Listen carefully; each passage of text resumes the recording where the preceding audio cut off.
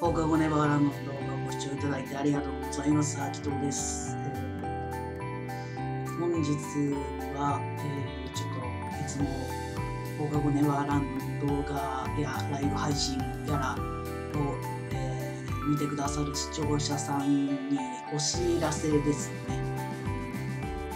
お知らせというかご報告というかまあでもお知らせ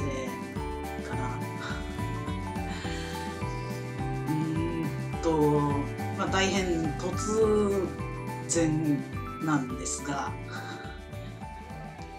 しばらくお休みをいただきます。しばらくっていうのはね具体的にまあ3週間かな、えー明日からですねこの動画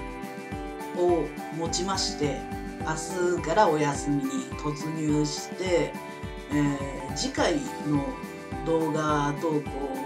再開するのは、えー10月14日水曜日を、えーまあ、再開予定としております。まあ、っていうだけのご報告というかお知らせ なんだけど、えーと、秋倉とかシムズですね、俺がゲームの上げてる動画。あれも、あの、まあ、この3週間の間はお休みさせていただきますので、もう本当動画投稿は、えー10月14日まで は、あの、ゼロになります。っていうのもね、あの、まあ、なんでね、こう、突然お休みをいただこうと。まお休みいただくの別に俺らが好きでね、あげてるだけだから、誰かに許可を取る云々もなんもないんだけど、まあ、この、基本で毎日何かしらの動画が上がってた中で、まあ、なんでこう、3週間ガッと休みが欲しいお休みしようかなってなったかっていうと単純に忙しい。そう忙しいんですよね。実生活の方が。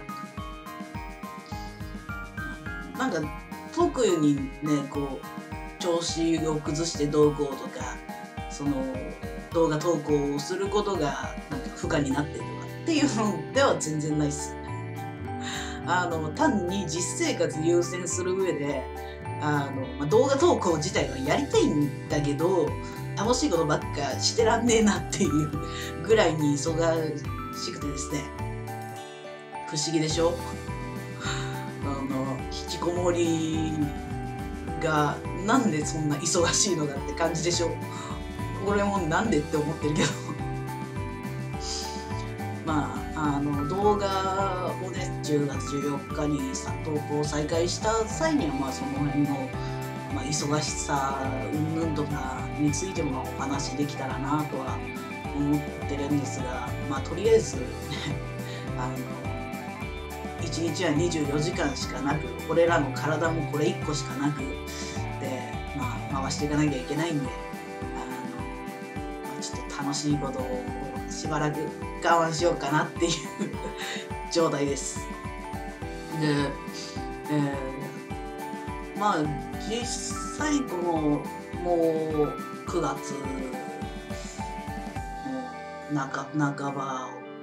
末に入るところですねこの動画上がってる頃には。で、まあ、ちょうど季節の変わり目っていうのは、まあ、俺らにとって割とターニングポイントというかあ調子崩しがちなポイントそしてまあこの1年のうち後半この9月10月ぐらいからあの毎年冬季うつに備えたい。いつ来るか来るのか来ないのか来るならいつだみたいな感じでそわっとするタイミングでもあるんでまあいい機会だから、まあ、その辺もちょっと調子を整えつつ今現在全然ピッピしてんだけど。その辺の様子も見つつねあ、まあ、今後に備えておきたいかなっていうのもありますね。でまあただ一応その実生活でねすごいバタバタと忙しいなっていうのも期間的にもまあ3週間しっかり時間を作れたらまあ落ち着くんじゃないかっていう見通しはあるんで、そこを確実に整えていくための3週間と。秋倉とかシムズゲーム動画の方ですね。あれももうね俺がゲームをする時間。あれ結構時間食うんよね。それもね、えーまあ、10月14日以降にまた再開できたらなと思います。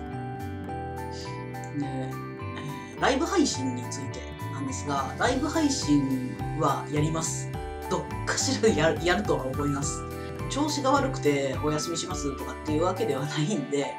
あのまあ様子を見てライブ配信やりたいタイミングそれが可能な日っていうのはまあできるだけ事前にね告知をお知らせをチャンネルの投稿欄とか、えー、Twitter とかあとオープンチャットとかでも、えーまあ、事前にお知らせは流したいなとは思いますがまあいかんせん俺がね思いつきで生きてるもんであのゲリラになる可能性もあります。あのちょっと今やりたくなったからやるわみたいなノリもありうる。まあというわけでね3週間。動画投稿はちょっとしなくなりますが、まあ、その後はもう確実に もう作業班がね、もう10月14日には投稿再開するっていうことで、予定を組んだりとかもね、してますし、いつも動画を楽しみにしてくださる皆さんには、過去動画とかね あの、もう、もう300回を迎えてしまった 秋倉とかね あの、改めてまた、ちょっと、覗いてみたりしていただけると、嬉しいなと思います。はい、というわけで、えー、まあ、ちょっとしばらくお休み、動画投稿はおお休みです。ライブ配信は、まあ、ちょいちょいやると思いますというお知らせです。でした。えー、ここまでお付き合いいただきましてありがとうございました。えー、またえ、10月14日かな？の、えー、投稿再開の時にお会いできたら幸いです。ありがとうございました。